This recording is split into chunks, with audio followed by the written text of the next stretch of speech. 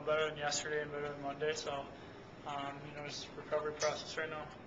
How, this has got to be extremely difficult for you, just based on the fact that you had a high school injury that took one of your se- uh, seasons away. Now all this, I mean, how do you, I guess, stay positive?